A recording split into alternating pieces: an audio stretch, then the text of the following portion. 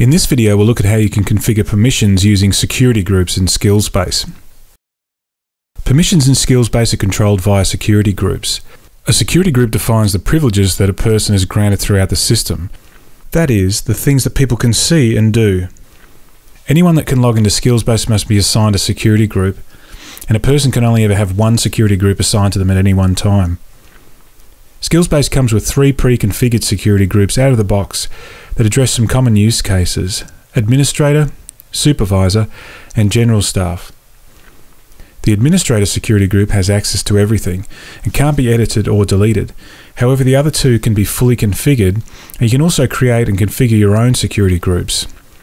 Let's create a new security group to assign to contractors working within the organisation. I'll start with a copy of General Staff as it's close to what I want.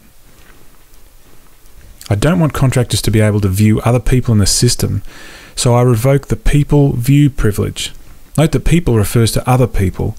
If I want to configure what a person can see of their own information, I can use the Self section. I save the security group and now it's ready to be assigned to people. Before assigning it, it's a good idea to test it.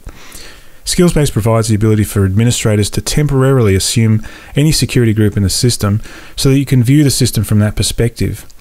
This eliminates the need to create separate accounts for testing permissions. Things appear as I expected, so I'm ready to assign it to contractors in my organisation. Security groups are assigned to people by editing a person's record. The fastest way to edit several records at once is via the bulk edit feature.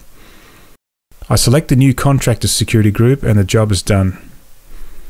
Skills Base also provides a permissions audit report so that you can audit the privileges that a person's been granted. Here we can see that the contractor has no privileges for any team in the system. Lastly, Skills Base provides the ability to select a default security group. This will be selected by default in drop-down lists such as on the Edit Person page, and will also be assigned to people that create their account via single sign-on. In the next tutorial, we'll look at how you can use the Delegates feature to dynamically control security group permissions based on a person's assigned team. For more information on any Skills Base topic, head to our support centre at support.skills-base.com.